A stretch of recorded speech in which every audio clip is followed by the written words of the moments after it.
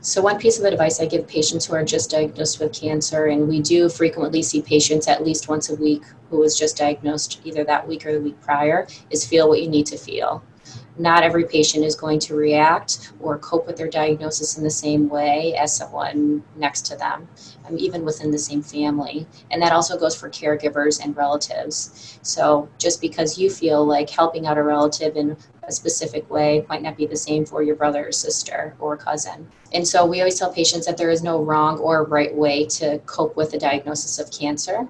And the way that you approach it is perfectly fine. And there's no right or wrong way to do that. Another piece of advice we always tell patients is don't be scared to lean on your support network, whether that be family or friends, your healthcare provider, advocacy groups. Never be afraid to ask for help.